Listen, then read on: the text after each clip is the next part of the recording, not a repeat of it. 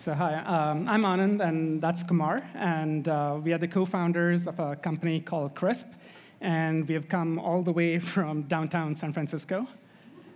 Um, all right, so what do we do? We do strong authentication using sensor data and any other available context. So we all know that there are problems with passwords, and you know we've known that for some time now. Uh, but the existing the alternatives, your biometrics and one-time passcodes, there's one major problem that they have, and that is users just don't seem to be using them, especially in the consumer setting. So if you want to have a real impact, whatever strong authentication method you use, really needs to work for all users. Uh, so not just the ones that you happen to convince to jump through hoops. Uh, and it's, it's actually those other users that you really need to worry about because chances are they are the ones that are using weak passwords and reusing passwords across services and so on. Secondly, it needs to work for all devices desktops, tablets, laptops, smartphones, regardless of whether they have a fingerprint reader on them or not. And finally, it, it needs to work, play nice with all your existing methods, because you really want to be able to introduce this gradually without taking on much operational risk. So, you know, whatever your innovation department says, uh, the reality is you're not going to be suddenly replacing your existing methods with selfies or, or whatever. So, um, in general, it is incredibly hard to change uh, or force users to change how they log in. But what you can do is change how you verify them. So, and this is where the context comes in. So you have location-related context. Now, most solutions, when they say they use context, usually stop here. But there's a lot you can learn from the device as well. So this is like, how is the device configured? Is there a device lock set on it or not? Uh, how is the device being used you know, just prior to the login? And so on. And then there is behavioral and sensor data. So the sensor data is uh, things from your accelerometer, the gyroscope, the touch sensors. And if you've been following the news coming out of Google and Apple, it seems like they're packing even more sensors into the devices. So if you can actually make sense of this data, you can verify not just what users enter, but also how they enter it. So, and, and one point I want to emphasize here is you really want to use all the context that's available to you uh, because the accuracy you get is significantly higher than if you'd left any one out.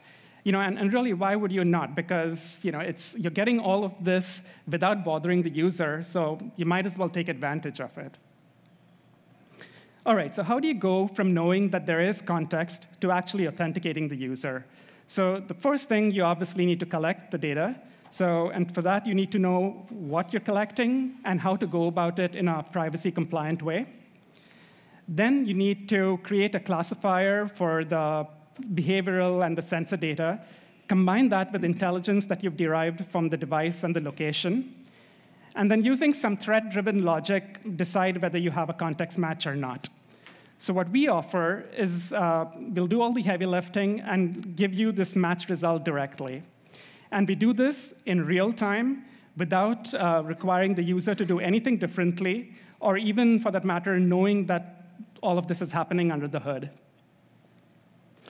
All right, so Kumar's going to, in a bit, tell us uh, more about the location and device profiling. But um, I just want to say a few words about how we do the behavior profiling here, so how we rather collect the data.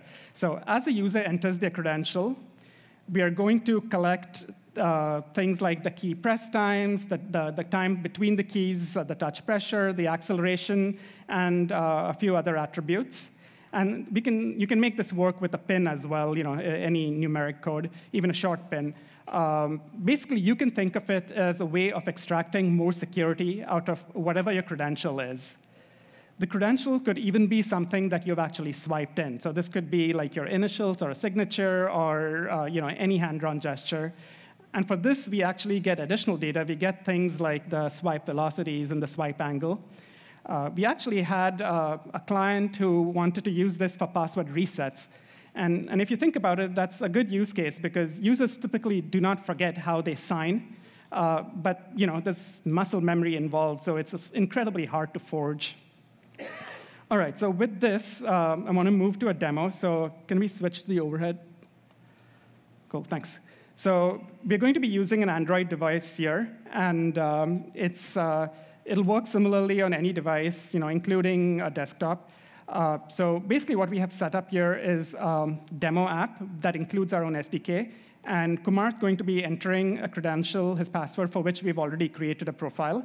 And, and this is uh, a live demo, so we are actually collecting the data, sending it to our server, figuring out there's a match or not, and pushing back a result that we'll actually show you within the app itself. So you want to go ahead?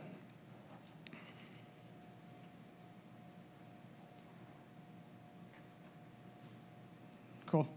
So, so basically, we got uh, an 84% similarity match. Um, now, I'm going to try, we're going to impersonate him. And so I'm going to try, I, you know, I know his password. Um, obviously, it's the same device, same location, so the, the only thing that's different in this case would be the behavior. Secure P100.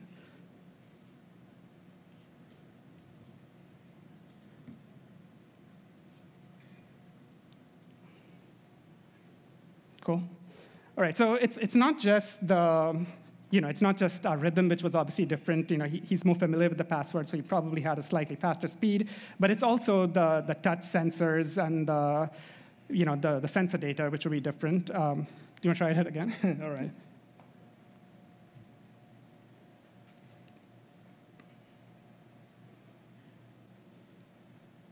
All right, so. Okay, cool. Um, all right, can we also uh, do the touch, the gesture verification? Sure. So re recall this is where we are um, looking at both the static and dynamic characteristics of his input gesture. Cool, so this is basically, it, it recognized his uh, input. Um, do you want to do it once more?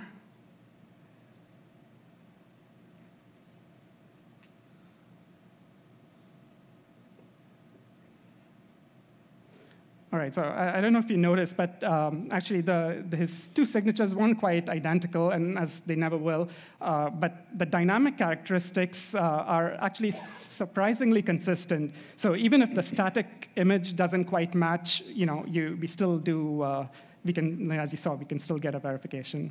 Um, all right, so with that, uh, I'm going to hand it over to Kumar, and uh, he's going to just give you some more details and you know, the integration aspect and talk about the verification accuracy and so on. So. Oh, and, and I just want to add one thing. So, uh, you know, we obviously is not rigged. We obviously want you guys to come and uh, try it out. So we have all this uh, in our booth, or you know, if you're leaving earlier, come by, uh, you know, just catch us anytime. So we'll be, you know, in the, the where that secret food room is up on the second floor. Right. All right. So can you switch back to the laptop, please? All right. Uh, so thanks, Anand. So I'm Kumar, and I'm the CTO and co-founder at Crysp. Uh, so Anand has given a good overview of what the problem space is and uh, what our core technology is. Uh, so what I like to do is to take it a step further and uh, maybe do a deeper dive into our solution. Um, also want to spend some time talking about uh, integration aspects and show how easy it is to integrate our solution as part of your existing authentication flow. Right, so one of the questions we get asked very commonly is uh, what happens if this touch verify that we just demoed doesn't work? Uh, well, in normal circumstances, uh, we get pretty good accuracy. Uh, we get between 85 and 95% accuracy, uh, depending upon how many samples were used for enrolling the user and um, how many samples are used to kind of train the model. Uh, but obviously, there are going to be exceptions. Um, for example, let's say the user is trying to log in while they're drinking coffee, or the user injured their tapping finger. So that's going to throw the rhythm off, and in those cases, touch verify may not match. Uh, but that's still OK, uh, because we are using all the available context, all the available signals, along with the behavior to kind of make the decision. So what are some of the uh, data and the signals that we look at?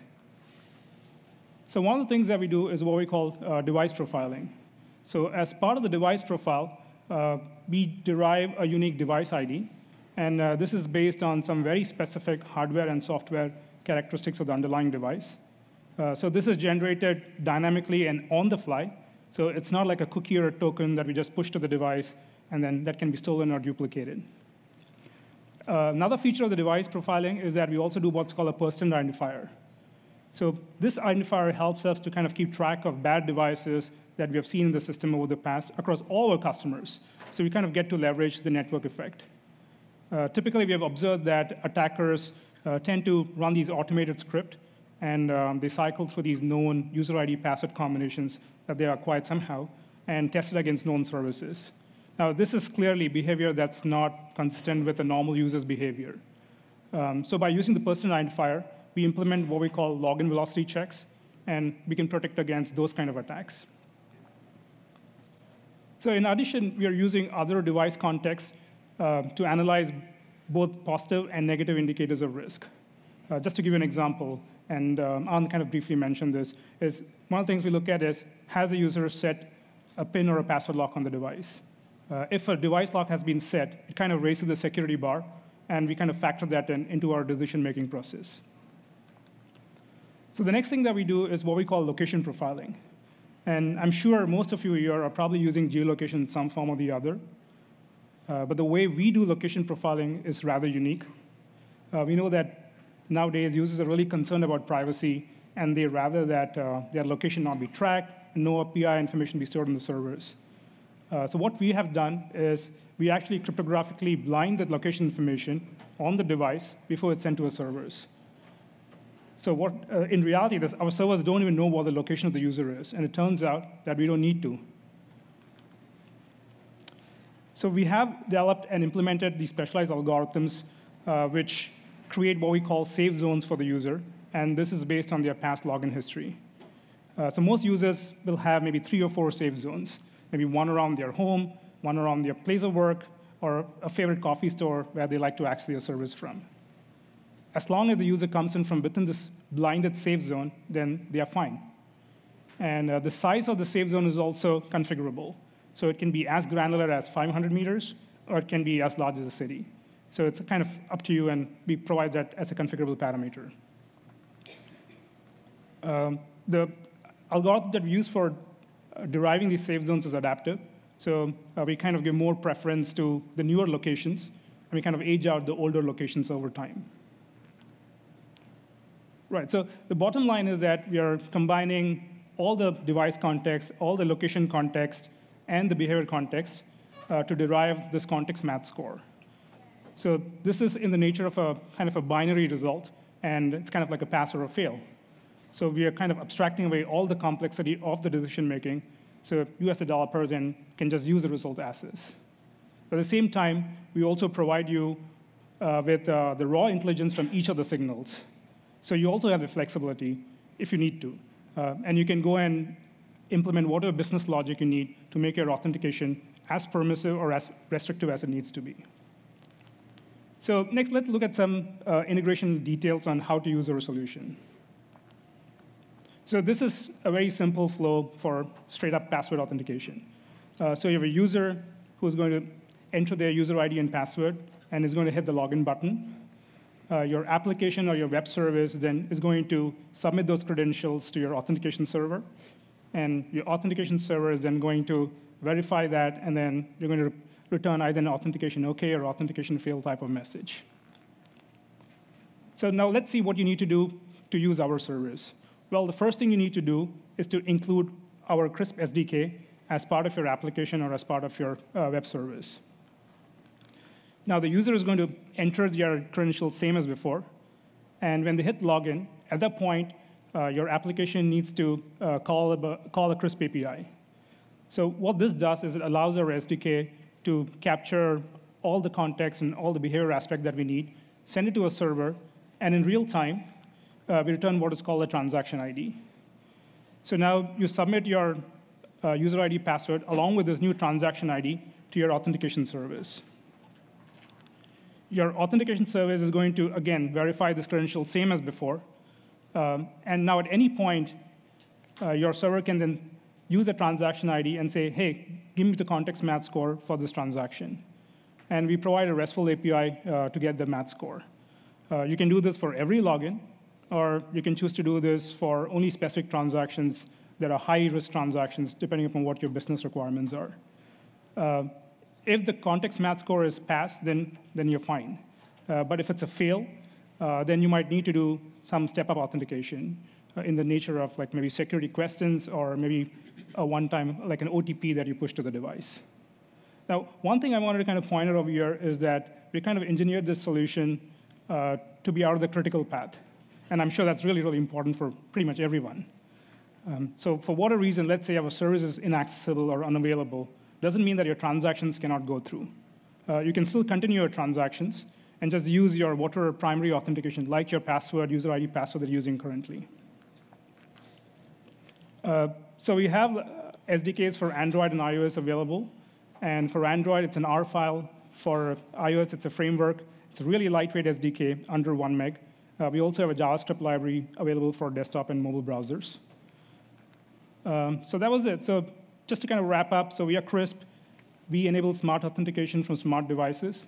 And we do it by leveraging context and user behavior, and in a manner that's really transparent and um, completely uh, by and making, uh, making the user experience the same as they, what they are used to right now. Uh, so Anand mentioned uh, we have a live demo at our booth. So if this is of interest, uh, please come uh, talk to us. Thank you.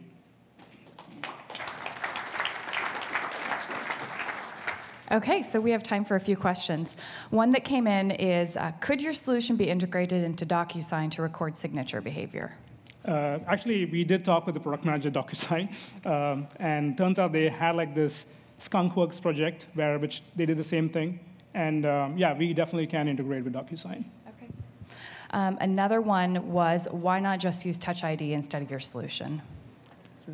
Right. So I think Anand kind of touched upon this uh, the earlier part of the talk. So I think our value proposition is that we want to provide the same uniform and the same comfortable kind of user experience for all users, all devices, and all platforms.